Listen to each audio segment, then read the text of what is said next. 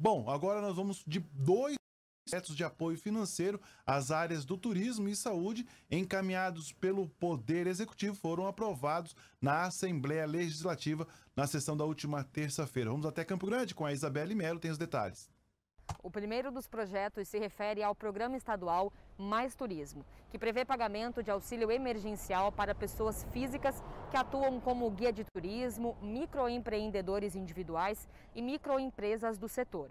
De acordo com o texto do projeto, o apoio será dividido em seis parcelas de mil reais e a previsão do governo estadual é de que serão destinados 6 milhões de reais para o incentivo não poderão participar pessoas com vínculo formal na iniciativa privada, servidores públicos, pessoas que recebem benefício previdenciário ou que estejam no seguro-desemprego. O outro projeto que também foi aprovado é o de apoio financeiro aos trabalhadores da cultura.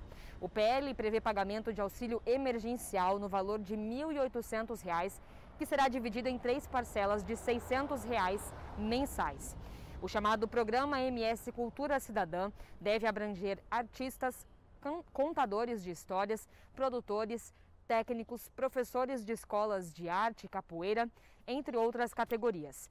A previsão do executivo é destinar 3 milhões e 200 mil reais para o setor cultural.